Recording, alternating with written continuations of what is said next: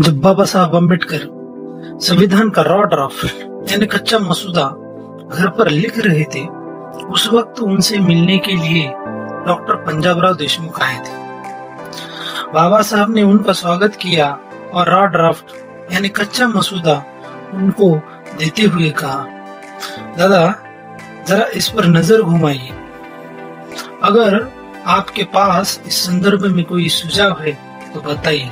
मैं थोड़ी ही देर में आऊँगा, ऐसा कहकर बाबा साहब बाहर चले गए। जब बाबा साहब वापस आए तो देखा कि डॉक्टर पंजाबराव देशमुख की आँखों से आँसू निकल रहे हैं। ये देखकर बाबा साहब ने पूछा, दादा, आपके आँखों से आँसू क्यों निकल रहे हैं? जवाब देते हुए पंजाबराव देशमुख ने कहा, बाबा साहब, मैं आपके पास कुणबी मराठा समाज के लिए आरक्षण का प्रावधान कर दो, यह कहने के लिए आया था। मगर आप कितने महान हैं, जो आपने कहने के पहले ही कुणबी मराठा समाज के आरक्षण का प्रावधान करके मसूदा बनाया है।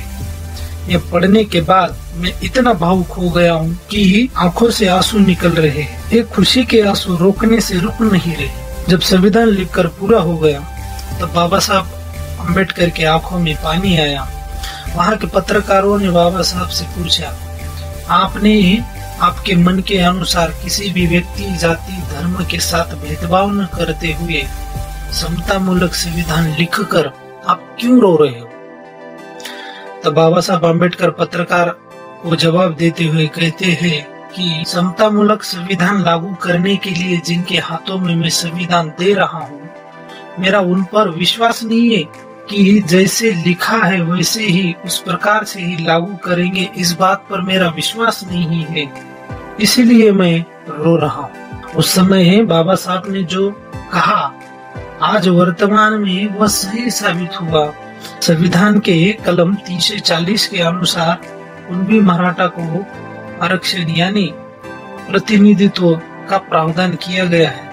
मगर जानबूझकर इस देश का शासक वर्ग ब्राह्मण कुणबी मराठा समाज के लोगों को आरक्षण से वंचित रखा है।